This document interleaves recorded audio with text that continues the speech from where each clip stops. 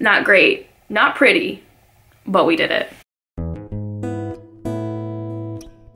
Hello everyone and welcome back to my channel. I'm Amy. Today I have a book haul for you guys. A large, large majority of these books I purchased at the little library sale section of my local library, which is a weakness of mine, but my husband doesn't mind because I have about 15 books here that I bought for less than $12 altogether upon several trips. I didn't buy 15 books at one time, although that makes it sound like I'd never do that and I would totally do that. But I do have a few other books from other places, but I will mention where I got those when we get to them. There's a lot of books to get through, so let's go ahead and get to it. The first book that I have for you guys is Red Rising by Pierce Brown. Shout out to Mike and Becca from Book and Looks, hashtag Mike for Red Rising. This is a dystopian sci-fi book that is the first in a trilogy, all three of which have been published already, and this book is very well loved around the booktube community and I think it's time for me to pick it up. It sounds wonderful. I do enjoy a good dystopian novel, so when I saw it for 50 cents at the library, I was like, yeah, that's a no-brainer. And I also got a book that I am so intrigued about and I hope that I get to it soon, and that is American Wife by Curtis Sittenfeld. This is the story about a woman who in the 1960s get, gets married to a boy from a very affluent Republican family and he goes on to become governor and from there he becomes the president of the United States. And despite how much she loves this man, she does not agree with his politics or the things that he believes in. And that sounds fascinating to me. So this is about her trying to come to terms with the fact that her public persona is very different from her personal one. And that sounds great. I love it when an author or a person can discuss relationships in which people love each other dearly, but they don't have to agree. Or in this case, he may not know. I don't know. I'm just I'm here for that discussion on relationships and how that can work and how it can play out. So this sounds so good to me. If you guys have read this book or have heard anything about it, please let me know. I'd love to know what your thoughts on it were. And I have another historical fiction book. There's a few of these in here, go figure. And this is The Winter of the World by Carol Ann Lee. This book takes place after the Great War or World War One, and it follows specifically a journalist named Alex Dyer who is just trying to deal with what he saw reporting on the war and the trench warfare and the atrocities that he saw, and also with the fact that he's in love with his best friend's wife. Now, it is not clear whether or not his wife, not his wife, his friend is alive or not, but I haven't read a lot about World War One and I'd like to, and it just sounded like a good read, so I picked that one up. This book that I have is a very popular one and I'm super excited to read it. I'm super excited to read all of these. I should stop saying that.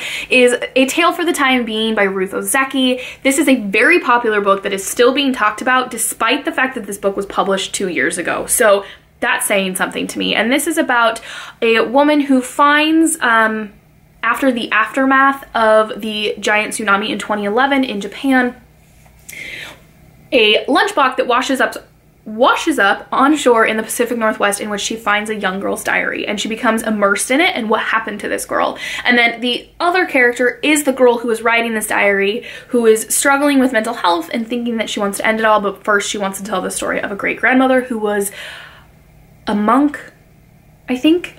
Is that right? I don't know. Anyway, this cover is gorgeous. I've heard wonderful things about this book and it's just time that I got around to reading it. And another well-loved booktube book, at least from what I've seen, is The Light Between Oceans by M.L. Stedman. This is the story about a couple who take care of a lighthouse on a remote island where they are the only ones on this island and they are currently struggling to have a child. And when a infant washes up on shore with a dead person in a boat, they decide to take the child on as their own. And this book is about the ramifications of that when they move back to the mainland and learn that this child's mother is still alive. Sounds very interesting. It's been spoiled for me a little bit, which is disappointing, but I'm really looking forward to getting to that one as well. I'm not going to describe this book because frankly, I really don't know what it's about. All I know is that it's got a lot of awards and people love this author. And that is Donna Tartt's The Goldfinch. Bought it for a dollar. I figured why not. I have not read any of Donna Tartt. If you guys feel like there's a better place to start with her that's not The Goldfinch, let me know. I'm all for advice because I know she's a big, well-loved author and I'd like to approach her in a way that is going to most increase the possibility that I'm going to like what she has to say. And a classic that I have already read and chatted about in my September wrap-up. I will link that up here for you guys. Is that the right way? I think so. Uh, that is Fahrenheit 451 by Ray Bradbury. It's about a fireman whose job is to burn books. That's all I'm gonna say. It's a classic. If you haven't read it, you should read it. I'm trying to get through this fast. Sorry if this is so fast, but there's a lot of books to get through and Lord knows we, I get chatty from time to time. Uh, and this book is The Last Days of Night by Graham Moore. This is a book that is mainly from the point of view of a lawyer who is representing George Westinghouse, who's being sued by Thomas Edison. And this is taking place in 1893 when there was this race to figure out electricity. So there's characters in this book like obviously Thomas Edison, George Westinghouse, Nikola Tesla, who I am all about Nikola, Te Nikola Tesla. So much respect for that person. There's a documentary on Netflix about Nikola Tesla. You should go watch it. Look around your house. If something is really important that you couldn't live without is there, it's probably because of Nikola Tesla. Just saying. But sounds really interesting and drama and conflict and I'm hoping atmospheric. I mean, it's called The Last Days of Night. It just, it sounds good. It sounds good. And for 50 cents, if it sounds good, I'm probably gonna buy it. Uh, and this is Deception on Sable Hill, a Chicago World's Fair mystery by Shelley Gray. This is the second book in a series. I'm so good at that. I am so very good at that. And I don't read books out of order because I don't want to be spoiled for any itty bitty thing and that's just a thing for me. I just don't read books out of order. But it's a romance a little bit. It's a historical fiction taking place in 1893. There's mystery. I don't read a lot of mysteries not for really much of a particular reason other than I don't typically grad gravitate gravitate towards them. So I'd like to get my hands on the first one and it just sounds like a good cozy read and we're here for the cozy reads because it's fall. Right? Am I right? Uh, and another cozy read that I largely picked up this book. It totally interests me, otherwise I wouldn't have picked it up, but I was totally driven to actually pay the whole whopping 50 cents for it uh, because I knew this would be the perfect fall read, the colors on the front and everything. This is The Hundred Year House by Rebecca Makkai and this is the story about a couple who is living in this house that I believe it's the wife's family has lived in for a very long time and supposedly her great mother committed great great mother great grandmother. I need to slow down. I know I'm trying to go fast but take a breath Amy. Slow down her great grandmother committed suicide in the house, and her husband, who is an academic, decides to do a little bit of research in this house because it's an old house. And in doing research about this house, he finds out all these secrets and these isms about this family and about this house, and you get to go back in history to learn about them, and it just sounds great. My husband is waving at me because apparently he can't tell that I'm filming, so I'll be right back. Just give me a second. Shall we continue since my husband is incapable of waiting for me to finish filming this video? Uh, another book that I managed to pick up was Go Set a Watchman by Harper Lee. I adored To Kill a Mockingbird when I read it in high school. It is a book that has resonated with me and stayed with me for a very long time since it's been a while since I was in high school. And I need to reread it and I would like to reread it before I get to this just to refresh my memory and everything. But this is about Scout when she's grown and she returns to her hometown because I believe Atticus is dying or coming to the end. And I know this wasn't as loved as everyone was hoping it to be, but I still would like to give it a shot. Uh, so I picked that one up.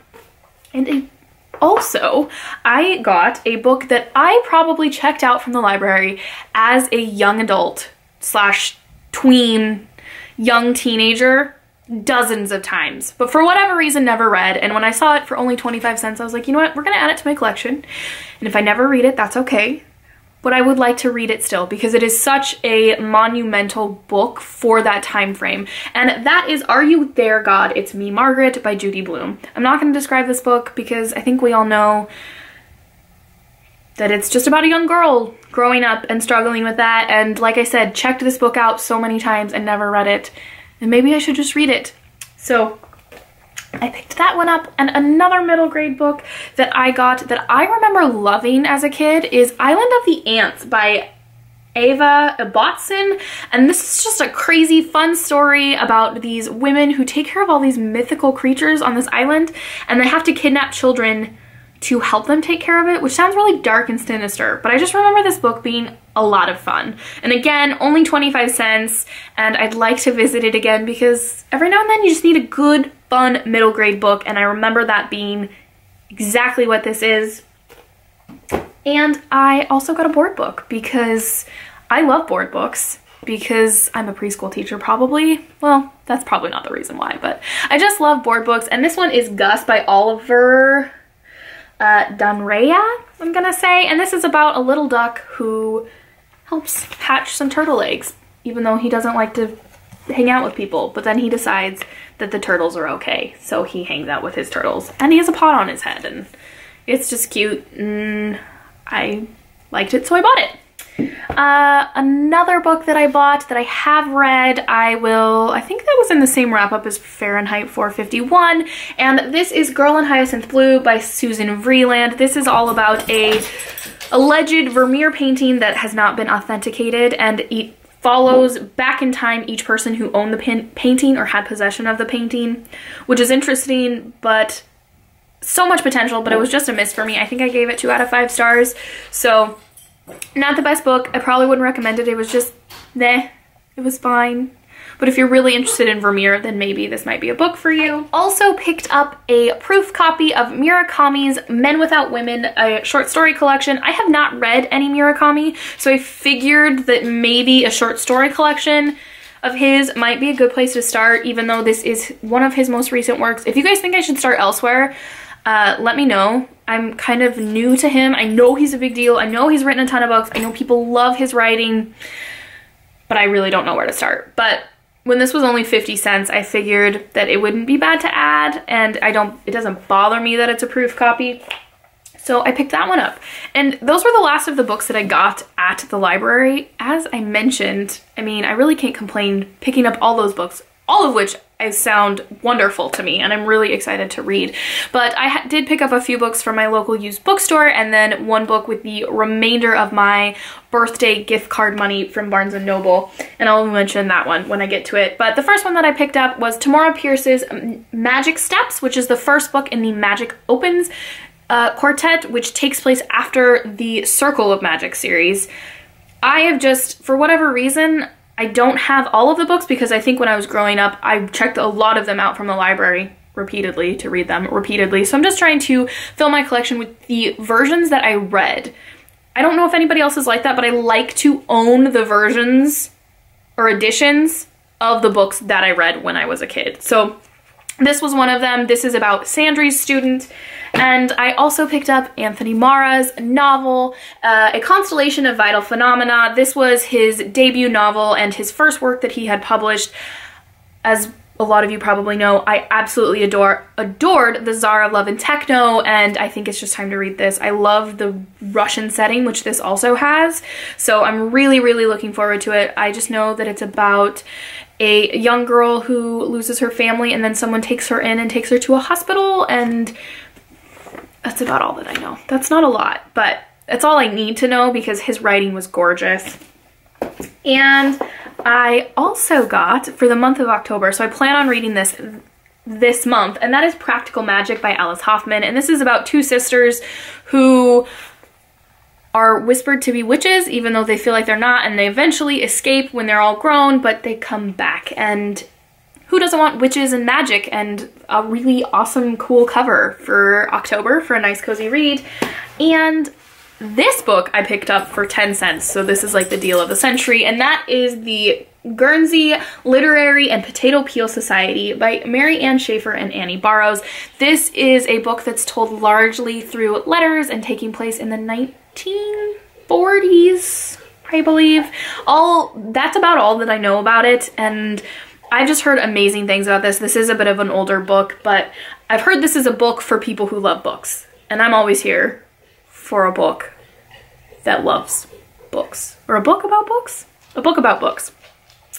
And the last book that I got, I picked up from Barnes & Noble, so it only cost me $4, which is great because between my little membership card, which is awesome, and my gift card, I got a good little deal out of it, and that is My Lady Jane by let's see here, Cynthia Hand, Brodi Ashton, and Jodi Meadows. And this is a reimagined story of Lady Jane Grey, who was Queen of England for nine days before she got her head chopped off. And there's a little bit of magic in this, which I'm absolutely loving. I'm currently reading it right now. I don't think I mentioned that. I'm about 140 pages in, and it is a barrel of fun. It is a YA novel, and it's just great. I'm loving it right now. Obviously, I'm just in the beginning, but I don't anticipate disliking it anytime soon. It's just a great, fun read, and you will probably hear more about it in my wrap-up. There are the books that I picked up in the last few months, which I say for the last eight weeks or so isn't bad. I have ordered a few books online recently, so they are not included in this because they are in the mail, but I say not bad, but thank you so much for watching, you guys. If you've read any of these books, let me know what your thoughts were, or if you're interested in reading in any reading in any of them, reading any of them, let me know that as well. Or if you think that there's a book in this that reminds you of another book that you think I would like, I'm always here to make my TBR bigger because we can't ever run out of books on the TBR. So if you liked this video, please like it, and if you loved it, please subscribe, and we will see you in my next video. Happy reading! A famous sequel to a kill to Why is this so hard? Is like the 16th time I've tried to do this. I haven't filmed in over a week and I am on the struggle bus. Chew, chew. You know what, I don't even know what I'm saying. Manage a thumbnail with this. There's so many books. There's so many big books. I like big books. I cannot lie. That was terrible. I'm gonna go so badly, so badly. So far I haven't dropped any. Oh man. Oh man. Oh, I did it.